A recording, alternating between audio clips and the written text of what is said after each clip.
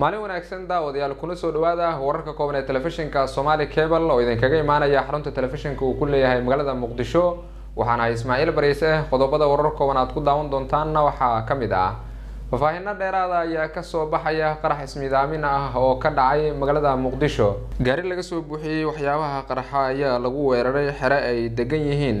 ciidanka xoogga dalka gaar ahaan guutada kow iyo labaatanka abril oo ku taala dhabarka dambe ee xarunta xisbiga iyo stadium muqdisho qaraxa oo ahaa mid ismiidaamin ah ayaa la sheegay in lagu dhuftay iridda xerada oo ay ku sugnaayeen ciidamo ka tirsan xoogga dalka soomaaliyeed. Waxaa jira khasaare isugu jira dhimasho iyo dhaawac oo qaraxa ka dhashay waxaana qaraxa uu ahaa mid xoogan. Gaadiidka gurmudka deg dega ah ayaa gaaray goobta waxaana halkaasi ay ka wadaan howlaha badbaadinta ciidamo ka tirsan booliiska oo ku sugan meel u dhow goobta uu qaraxa ka dhacay ayaa sidoo kale xiray inta badan waddooyinka soo gala xarunta xisbiga. Xildhibaanada golaha shacabka ayaa lagu wadaa maanta inay yeeshaan kulankoodii caadiga ahaa kaasi oo ka dhici doona xarunta golaha shacabka ee magaalada muqdisho ajandaha maanta kulanka baarlamaanka federaalk soomaaliya ayaa ah akhrinta koowaad ee sharciga dembiyada galmada la xiriira. Sida lagu sheegay fariimaha uu guddoonka baarlamaanka xalay u diray xildhibaanada shan iyo labaatankii bishii hore ee julaay ayay ahayd markii xildhibaanada fariin qoraal ah loogu diray ajandaha kulanka ka doodista doorashooyinka. Uu mar qura isu bedelay kalsooni u qaadista xukuumadda waxaana durbadiiba si fowda iyo buuq ku jirta loo riday xukuumaddii ra'iisul wasaare kheyre shirar gaar ah oo maalmihii la soo dhaafay ay yeelanayeen xildhibaanada ayaa shaki weyn dhaliyey kadib markii qaar ka mid ah xildhibaanada ay sheegeen in baarlamaanka bedeli kale oo keliya uu yahay mid la soo doortay iyagoo taageeray doorasho qof iyo cod ah oo dalka ka dhacda. Xildhibaano ka tirsan golaha shacabka baarlamaanka jamhuuriyadda federaalk soomaaliya oo ku guda jira kala fadhigoodii ugu dambeeyey muddo xilhoontooda ayaa meelmariyey qodob lafdhabar u ah doorashada dalka gaar ahaan qof iyo cod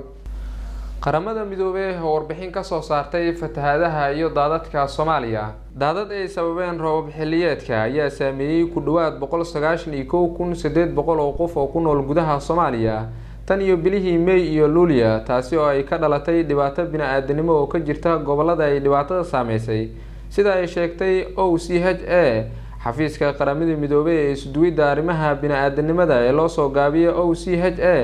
ayaa sheegay in dadkaasi ay barakiciyeen daadad ilaa dhammaadkii bishii la soo dhaafay ka socday meelo ka mid ah soomaaliya.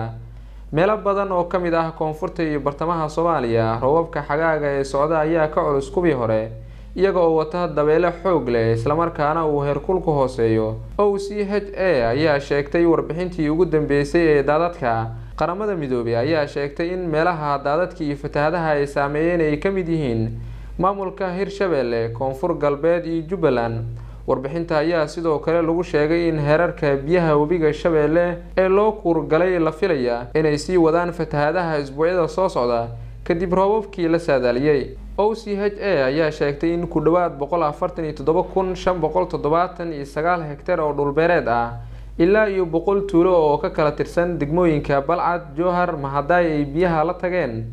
bal markaana haddii aynu eegna wararka dibaddana waxaa ka mid ah faahfaahino dheeraad ah ayaa ka soo baxaya khasaare ka dhashay diyaarad ku burburtay garoonka kalikeed ee dalka hindiya. Mas'uuliyiinta waxda duulista hawada ee hindiya ayaa xaqiijisay in mid ka mid a diyaaradaha shirkadda air indian express oo ay la socdeen boqol iyo sagaashan iyo kow qof oo rakaab ah ay ku burburtay garoonka diyaaradaha ee kalikeed oo ku yaalla kareela ee koonfurta dalkaasi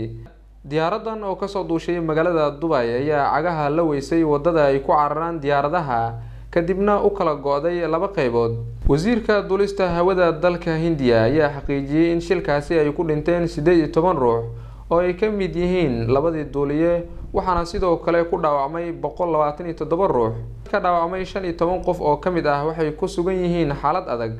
Maamulka diyaaradaha ayaa sheegay in tirada rakaabka ay ahayd boqol siddeetan iyo afar ruux oo ay ku jiraan toban carruur ah iyo lix shaqaalaha diyaaradda ah ayna ka mid yihiin laba duuliye. Guud intaas ayaan ku soo koobayaa wararkii koobna aad kala socoteen telefishinka somaali cable. Waxaa idiin warramaya anigoo ah ismaaciil bariise. Tan intaan ku kulmi doonno waqtigan waqtiga xiga waxaa idinkaga tagayaa sidaa iyo amaan alla